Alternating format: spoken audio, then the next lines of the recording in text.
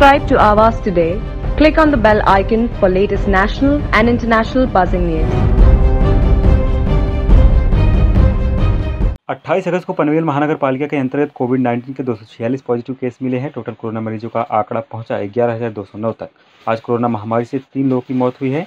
कुल कोरोना महामारी से मरने वालों का आंकड़ा पहुँचा दो सौ छिहत्तर तक। 28 अगस्त को 135 लोग कोविड 19 से ठीक हुए हैं और अब तक कुल कोरोना महामारी से ठीक होने वालों की संख्या नौ हज़ार सात सौ इक्यानवे है। और पनवेल महानगर पालिका क्षेत्र में एक्टिव केस एक है। पनवेल क्षेत्र में 28 अगस्त को 246 कोरोना केस मिले हैं।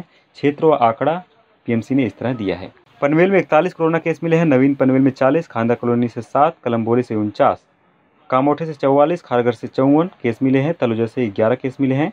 और अच्छी खबर ये है कि कोरोना महामारी से आज 135 लोग ठीक भी हुए हैं। क्षेत्रों संख्या इस तरह है। पनवेल में कोरोना महामारी से 25 लोग ठीक हुए हैं। नवीन पनवेल में उनतीस लोग ठीक हुए हैं कलम्बोली से ग्यारह, कामोठे से बयालीस, खारगढ़ से सत्ताईस लोग ठीक हुए हैं और तलोजा से एक लोग कोरोना महामारी से ठीक हुए हैं आवाज़ टुडे, पंकज विनोवंशी की report, Panvel Subscribe to Avas today. Click on the bell icon for latest national and international buzzing news.